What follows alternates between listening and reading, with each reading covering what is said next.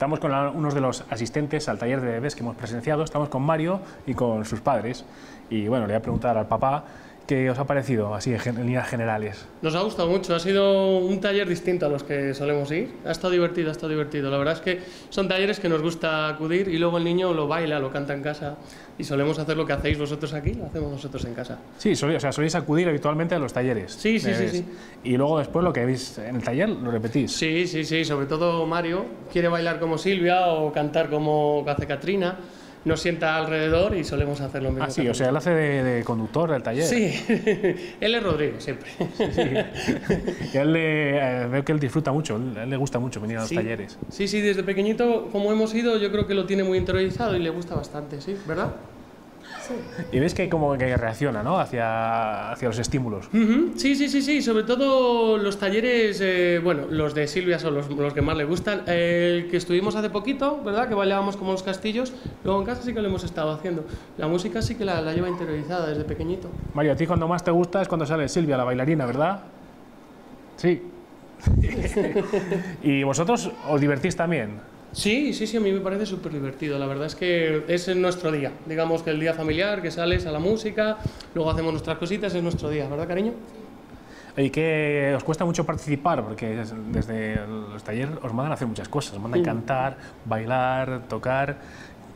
¿Os cuesta? Bueno, los primeros días cuando saludábamos que tienes que hacer con el ritmo la canción es un poco vergonzante. Pero bueno, ya luego seguro van pasando los días. Una vez que pasa, hemos- ya uno pierde, vergüenza. pierde la vergüenza, todo tipo de vergüenza, y eh, como, como él disfruta, ¿verdad? Y como Sí, vosotros también. sí, eso es. Le ver disfrutar te hace disfrutar a ti. Pues ya lo veis, los niños parece que están contentos, no lo, no lo dicen, pero se les nota. ¿Estás contento? Sí, ahora lo he dicho. Y los padres, pues tanto como el niño o más. Así que, bueno, eh, venid a ver esos talleres, nosotros vamos a seguir. Adelante.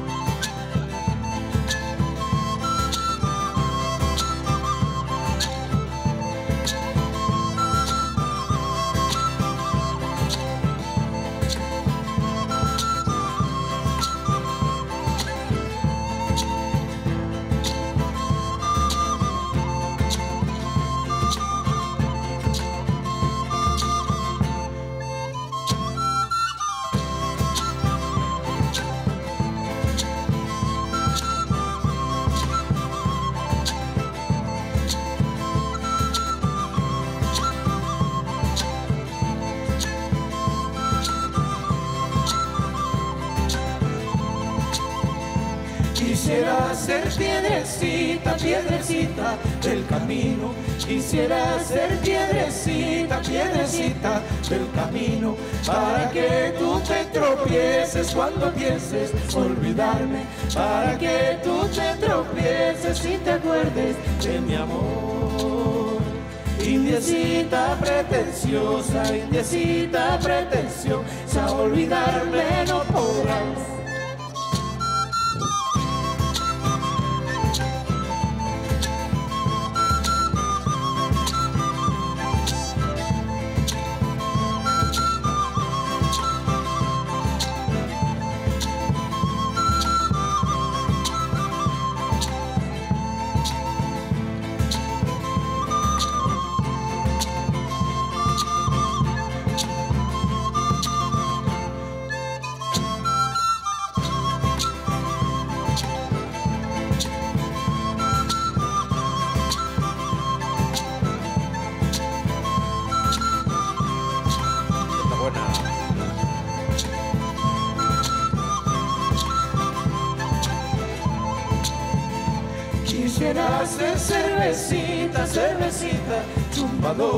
Quisiera ser cervecita, cervecita, chumbadora. Para que tú te emborraches cuando pienses olvidarme. Para que tú te emborraches y te acuerdes de mi amor. Indiecita pretenciosa, indiecita pretenciosa, olvidarme no podrás.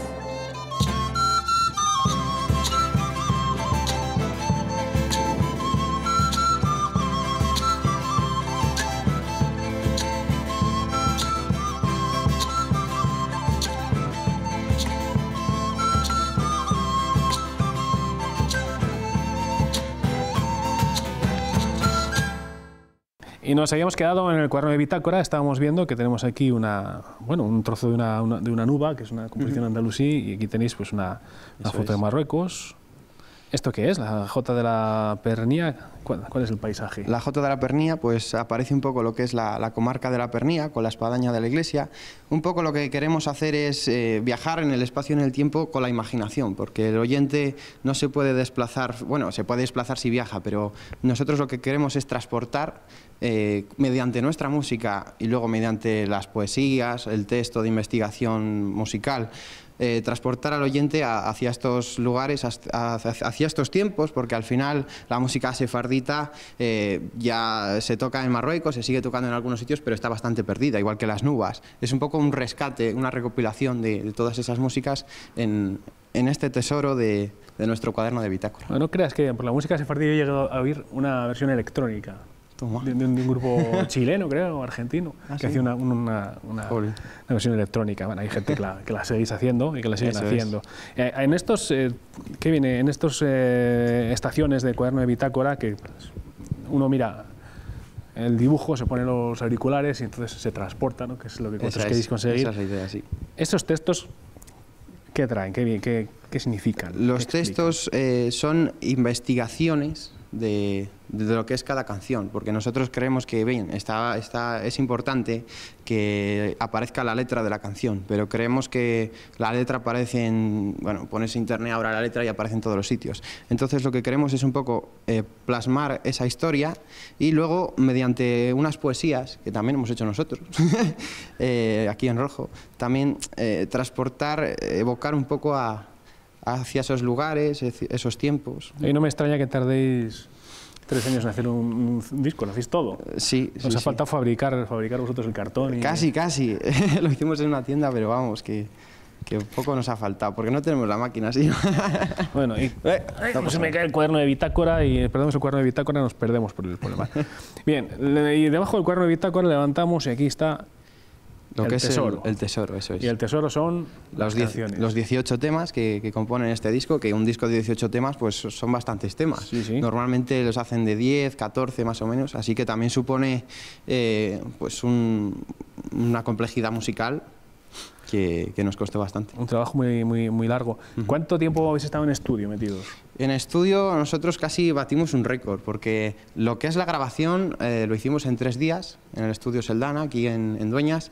Eh, fue tres días en directo, además, porque allí tienen una sala con varios paneles difusores que te permite plasmar un poco nuestros directos, porque a nosotros nos parece un poco artificioso el tema de grabar a pistas, que puede que sí, técnicamente hablando quede mejor, pero es más artificial. Nos gusta más el sonido La frescura. natural, la frescura, natural, a- a que estás viendo aquel.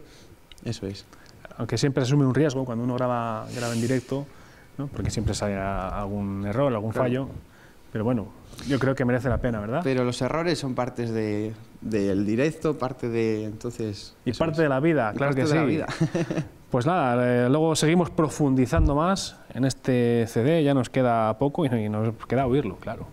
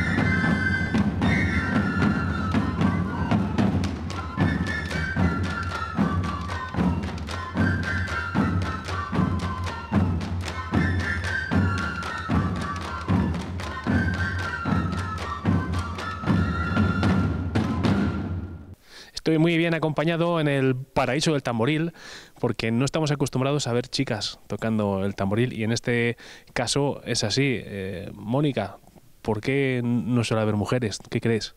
Hombre, yo creo, bueno, eh, tradicionalmente siempre era una figura masculina la que tocaba. Entonces yo creo que estaba un poco cerrado, como otras profesiones que estaban cerradas a las mujeres, pues lo del tamborilero, que además solía ser una profesión, estaba cerrado también. En Zamora creo que es una excepción porque hay muchas, dentro de lo que cabe, somos muchas mujeres tamborileras. Si te vas a Salamanca, por ejemplo, ya, ya no se encuentran tantas. Y, yo creo que esa es la razón básica, pues que era una cosa pues, que no se podía hacer, las mujeres no podían ir por los pueblos tocando, era una cosa que estaba muy mal vista, tenían que estar en casa. Claro, era algo asociado al hombre. ¿En Zamora más o menos sabes desde hace cuánto tiempo ha empezado a haber tamborileras? Yo no lo sé exactamente, yo sé que desde que yo llegué ya había y conozco gente que, que lleva desde pequeña y que ya tienen 30, 40 años, entonces yo creo que 20 años sí que habrá que... Porque yo no soy de aquí, entonces vine después y, lo he conocido un poco tarde. Pero yo creo que 20 años tranquilamente, sí que, sí que estarán ya tocando. Entonces ya es hora, ¿no? De que no solo en Zamora, sino que en todos los sitios donde hay tamborileros haya tamborileras, ¿verdad? Sí, en Salamanca ya se empiezan a ver. Ya... Lo que no se ve tanto, por lo menos en esta zona, es que, sobresalgan, que siempre la figura del, todavía del tamborilero suele ser masculina, la que toca más, la que el que toca mejor. O a lo mejor es, pues, yo qué sé, no sé si es por falta de, no creo que sea por falta de facultades, sino por también por la tradición. Pero bueno, ya se empieza a ver de todo, o sea que eso ya está un poco ganado, yo creo. Bueno, puede ser una razón estadística, si hay más, más hombres es lógico que haya más que toquen bien, pero realmente para tocar el tamboril no hace falta tener una condición masculina, no hace falta tener mucha fuerza, por ejemplo. No, eso no, pero eh, también está muy ligado a la vida de pastor. Eh, las mujeres se quedaban más en casa, aunque también había muchas que salían a pastorear, la mayoría eran hombres y, está muy ligado a eso, es flauta pastoril, por algo se llama así. Entonces, pues también de, atrás viene, viene ligada al hombre. Pues nada, animar a más mujeres para que se apunten a, tocar el, tamboril y, la gaita. Sí, bueno, aquí tenemos a un montón que, a los que después seguiremos preguntando, seguiremos hablando con ellos y seguiremos conociendo.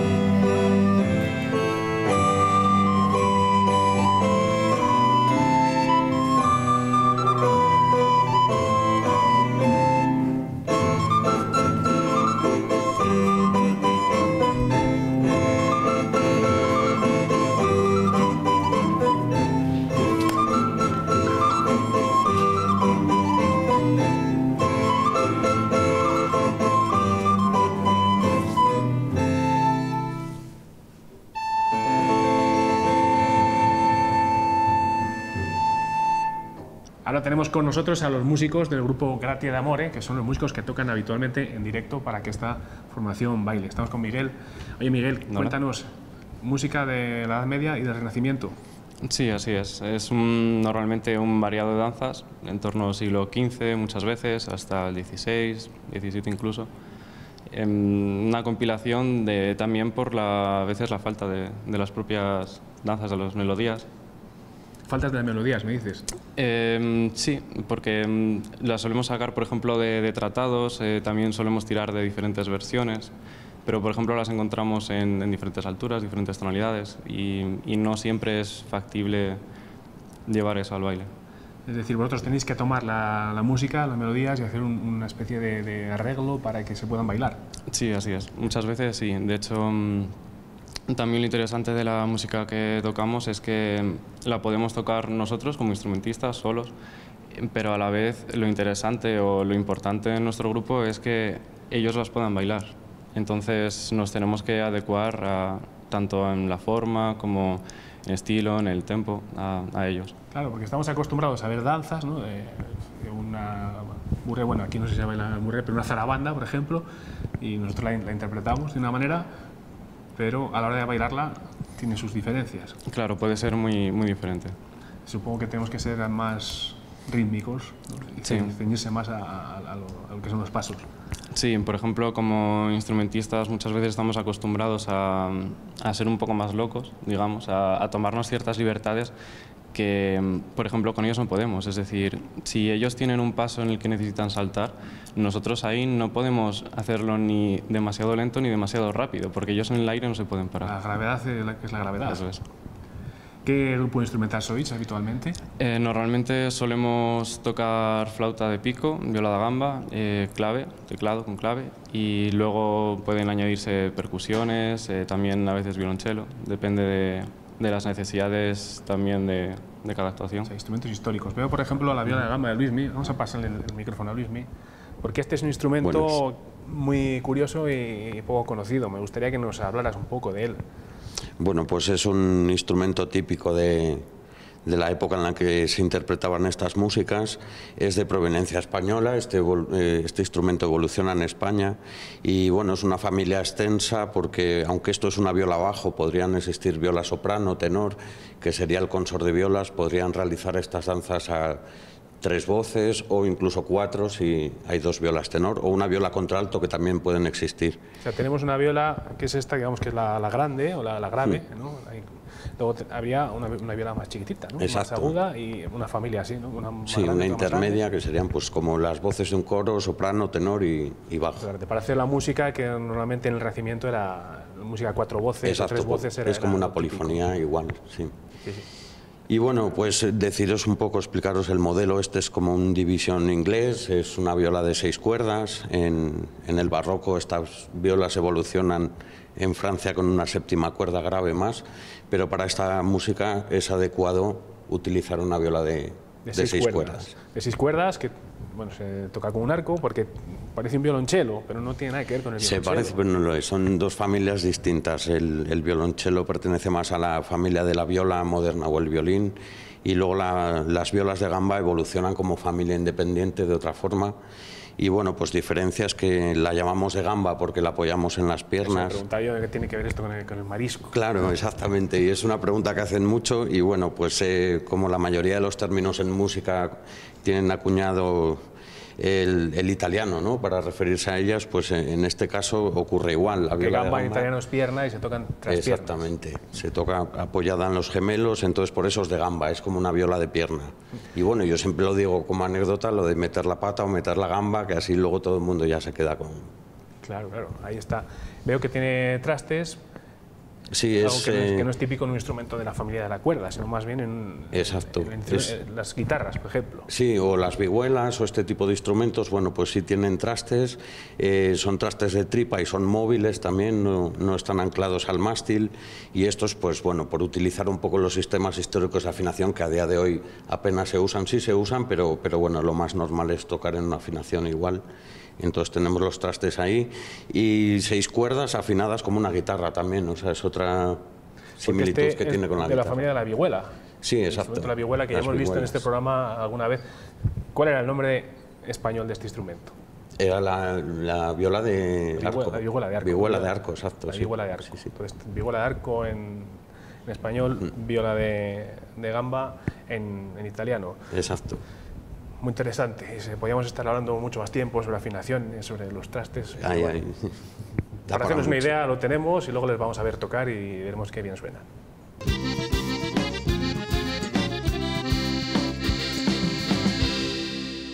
Qué bien, ¿eh? Seguramente estáis cenando ahí viendo el programa. Bueno, pero la televisión también necesita alimentarse y el alimento de la televisión, ¿cuál es? La publicidad. Así que vamos unos segundos a los anuncios y volvemos. Con la música a todas partes. ¿Eh? No os atragantéis.